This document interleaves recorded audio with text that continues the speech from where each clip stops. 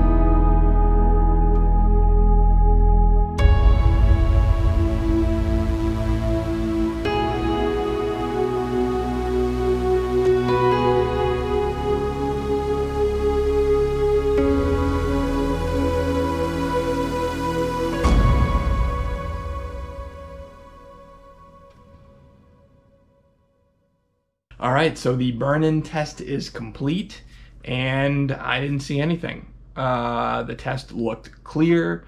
Uh, I feel like if you're gonna see burn-in, I say this every time I run a burn-in test, but if you're going to see burn-in or image retention on an OLED panel, I feel like you're gonna see it in that 5% to 10% grayscale window or pattern, and I didn't see anything there. My screen uniformity on this panel has always been pretty good. I don't have any tinting.